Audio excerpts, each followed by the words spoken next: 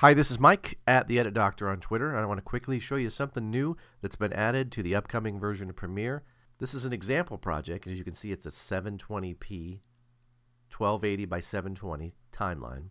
And this is a piece of footage that's 1080p 1920 by 1080.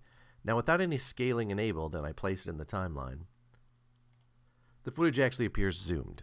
Now, formally, we could choose a setting which would be scale to frame size, and it reduces the image, but it also throws away the resolution that was there. So this image is still 100% at this new size. So scaling it up, I'm actually losing resolution.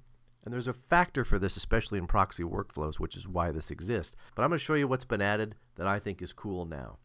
Now when we add this piece of footage, it's still zoomed, but we would like to keep the resolution perhaps for repositions the new set to frame size.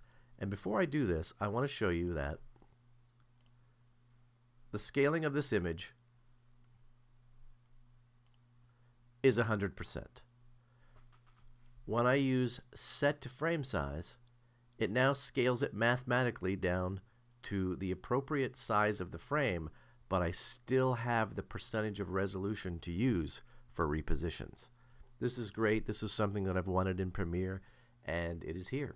So cool. I'm Mike at the Edit Doctor on Twitter. Thanks.